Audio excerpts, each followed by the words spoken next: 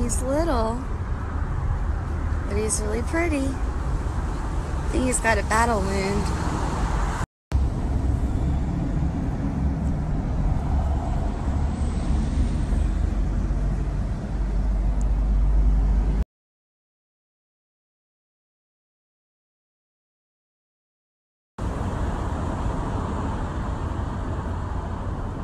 He's waving me bye-bye.